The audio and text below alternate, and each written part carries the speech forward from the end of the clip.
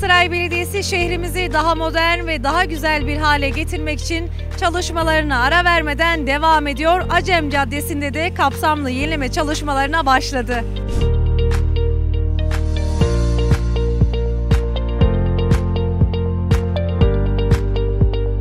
Acem Caddesi baştan aşağı yenileniyor. Eski aydınlatma sistemlerinin yerini yeni dekoratif amaçlı LED aydınlatmalar alacak. Acem Caddesi artık ışıl ışıl olacak.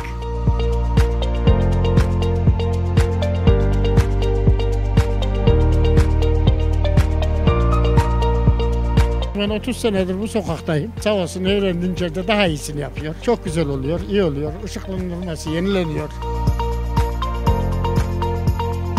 Aksaray Belediyesi çalışıyor. Acem Caddesi güzelleşiyor.